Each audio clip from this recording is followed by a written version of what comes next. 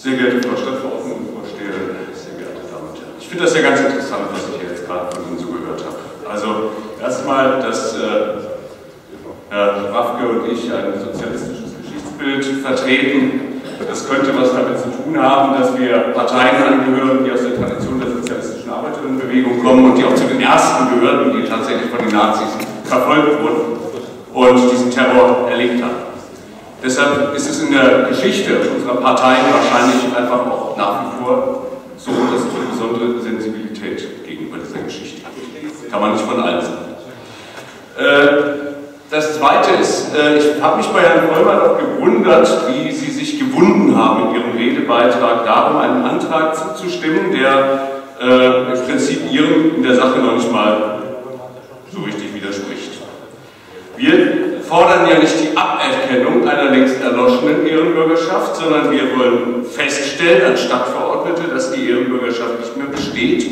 Wir wollen, dass die Stadtverordneten sich mit diesem Beschluss von der Person und dem Wirken Hindenburgs distanzieren und seine Teilhabe an der Etablierung der faschistischen Diktatur verurteilen. Das ist der Antragstext. Und wir wollen darüber hinaus auch noch, dass das nicht einfach nur verschwindet sozusagen, Klar soll aus der Liste der Ehrenbürger gestrichen werden, aber es soll auf der Website der Stadt dokumentiert sein, dass Hindenburg nicht mehr Ehrenbürger ist und warum das ist.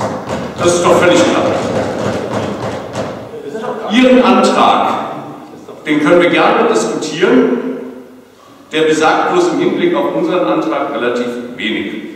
Und äh, Ihren Antrag würde ich, und das beantrage ich hiermit, äh, in den Fivico verweisen wo man dort nochmal in Ruhe über die einzelnen Punkte diskutieren kann, denn dann sind, da sind ja tatsächlich komplexere Regelungen betroffen, die gehören nicht mal eben mit zwei Drittel Mehrheit auf die äh, Tagesordnung geknallt und dann durchgepaukt, sondern das müssen wir im Ausschuss erstmal diskutieren. So, und äh, ich meine, und das, das finde ich tatsächlich äußerst skurril, hier eine Scheu davor wahrzunehmen, überhaupt sich mit der Person Hindenburgs, eines ehemaligen Ehrenbürgers dieser Stadt, kritisch auseinanderzusetzen und auch eindeutig mal namentlich sich von dieser Person zu distanzieren.